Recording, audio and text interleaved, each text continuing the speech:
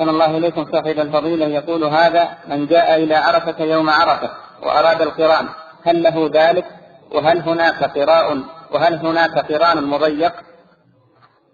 نعم يجوز الإحرام بالقران ولو يوم عرفة.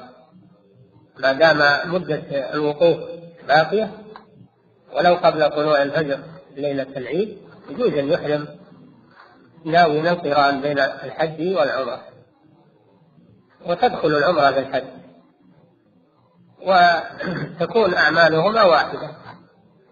فيطوف طوافا واحدا للحج والعمرة ويسعى سعيا واحدا للحج والعمرة ويقصر من رأسه مرة واحدة أو يحلقه مرة واحدة للحج والعمرة. وتكون عليه الفدية إذا كان من غير أهل مكة تكون عليه الفدية. فدية التمتع لأنه جمع بين نسكين تجب عليه الفدية فالقرآن تمتع. تمتع بمعنى أنه جمع بين حج وعمرة في كفن واحد.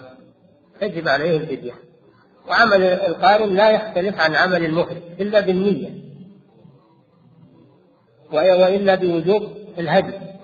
هذا الذي يختلف به القارن عن المحرم النية هذا ينوي عمرة وحجة وهذا ينوي حجا فقط والفدية تجب على القارن ولا تجب على على المفرد.